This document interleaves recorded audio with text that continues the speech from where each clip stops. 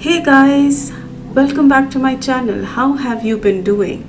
I know I had been gone for some time now, but more on that later in the video. Today, it's back to another sketchbook study, one themed around the pumpkin carving season. It's the fall season in many parts of the world, with the leaves changing color, the holiday season approaching, and everyone gearing up for a cozy winter. I thought to share a short process video of a pumpkin carving in gouache. If you do enjoy this video, don't forget to like, subscribe and hit the notification bell. It does help me out a lot and bring out more content for you. Now back to the painting. I start off by sketching the carved pumpkin, making sure I have the correct ratios of the eyes to the nose and the mouth. As I will be painting this in gouache, I am comfortable using a rather detailed approach in my sketchwork. If I were to do the same in watercolors, I would have used a very light hand as graphite usually peeks through from watercolors. While sketching, I do make note of the various crevices on the pumpkin surface so that it gives me an idea on where to put the shadows and lights. Coming to the art supplies, I chose a mix of Princeton Aqua Elite brushes and Brushtro detailing brushes, gouache paints from Mijello Mission White Class, my trusty old mixing palette that has a clasp which keeps my gouache wet for a long period of time. I also choose the paints based on a color chart that I prepare as soon as I get a new set of colors. Gouache can look completely different when dry and making these color charts definitely helps me with a quick reference. I will have all these supplies listed in the description box below for you to check out. Now coming to the fun part. I'm going in with a flat wash all across the pumpkin. This will form the base color. The paint that I'm using here closely resembles cadmium yellow. Here I'm using a half inch angled brush from Princeton. This helps me cover more area within a short span of time. There's nothing complex here. Gouache is an opaque medium, so you need not be extra careful around the edges. There will always be time for you to go back and correct your mistakes.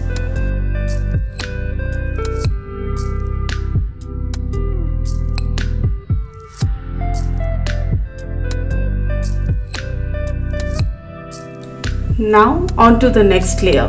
I used a combination of a bright orange red, a light red and burnt sienna to create the various shades on the surface.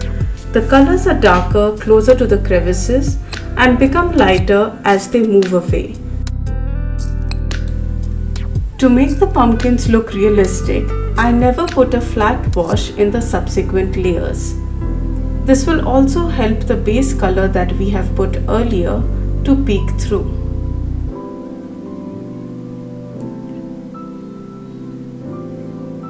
The next few minutes you will see me going through the same process over and over again to build depth and show texture on the pumpkin surface.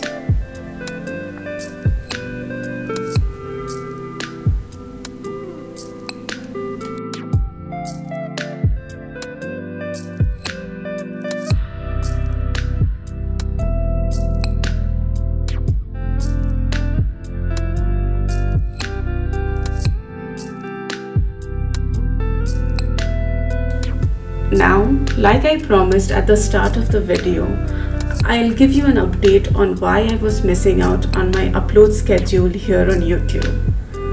I live in the southern half of India and we have had a couple of months where we had a long season of downpour. Unfortunately, I was the victim of a mosquito borne disease to that extent that I had to be hospitalized and it took me a good 15 20 days to regain my strength. It was a scary experience to the extent that my parents had flown in to help me through that time. But I'm thankful that the worst is over. So, yeah, now I am back and I'm grateful to each one of you to stick around with me. This was also the time that I hit 100 subscribers. I could not be more humbled. I mean, 100 people watch my videos, they like my content, and they have subscribed to my channel. Your continued support and love is what keeps me going. So, thank you so very much.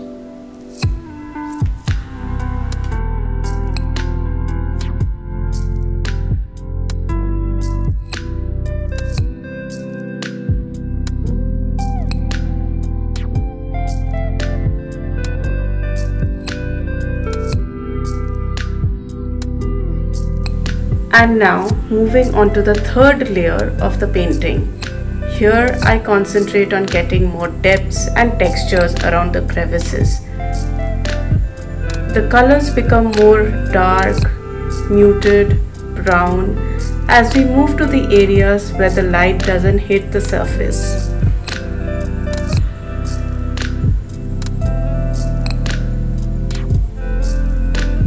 I go back to the areas where I think I have to darken and I go about a stippling motion so that the layers underneath are still visible.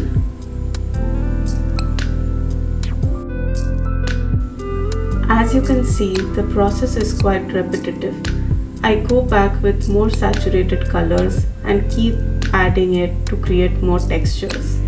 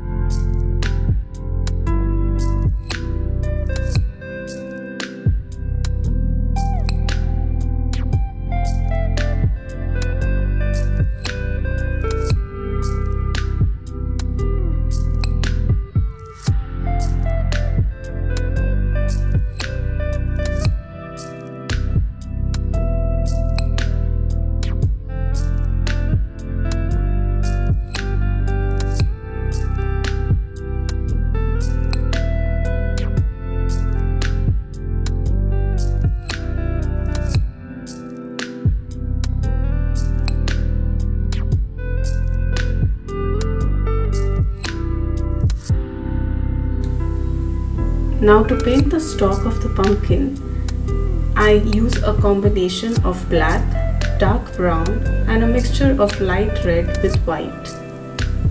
I wanted to go for a very jagged structure for the stalk. And now to add the highlights on the pumpkin. In this illustration, the light source is coming from the top left. So most of the highlights are towards the left of the pumpkin. The highlight is a combination of white and lemon yellow. Depending on the intensity of the highlight, these two colors are used in varying proportions. Again, I'm not using a flat wash here, but rather a stippling motion to enhance the textures of the pumpkin.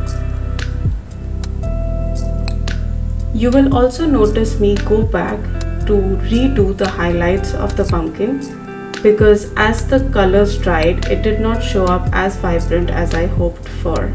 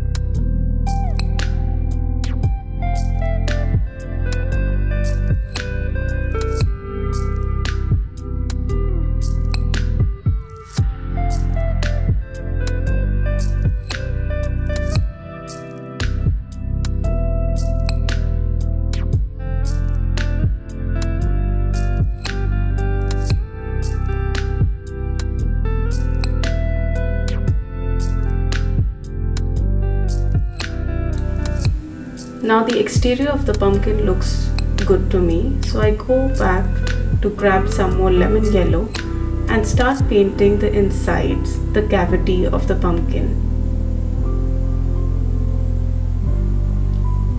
To denote the depth, I am using cadmium yellow on the outer periphery and aiming to get a seamless blend between the lemon yellow at the very inner limits of the cavity.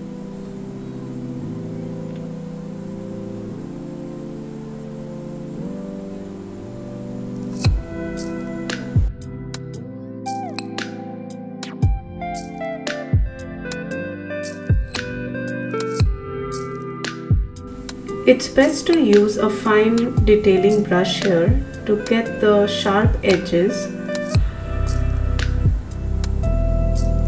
As you can see, mixing the cadmium yellow with the lemon yellow gives a sense of depth inside the cavity of the pumpkin.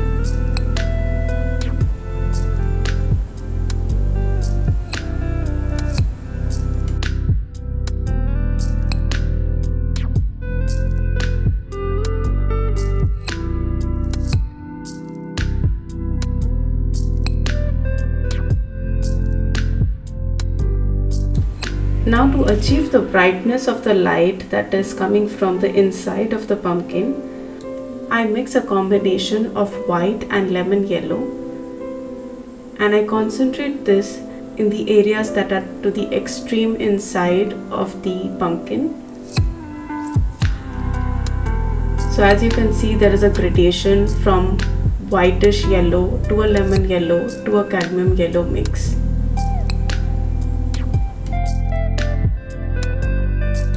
I am now making some final adjustments to the exterior of the pumpkin, sharpening the cutouts while still retaining the organic feel of a carved pumpkin. Now you can very well stop painting here, but I wanted to give a dark background so that the glow becomes even more intense. So here I'm using a shadow violet or a dark Prussian color as the background.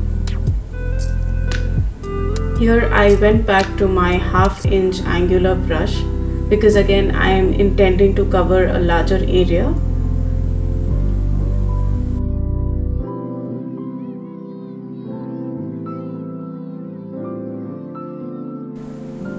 As you're going to see in a couple of minutes, that the addition of this dark background immediately changes the intensity and the vibrancy of the glow that is coming from the inside of the pumpkin.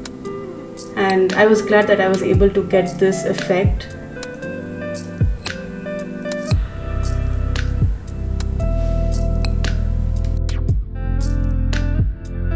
I again go back to a fine liner brush because I didn't want to ruin the edges of the pumpkin.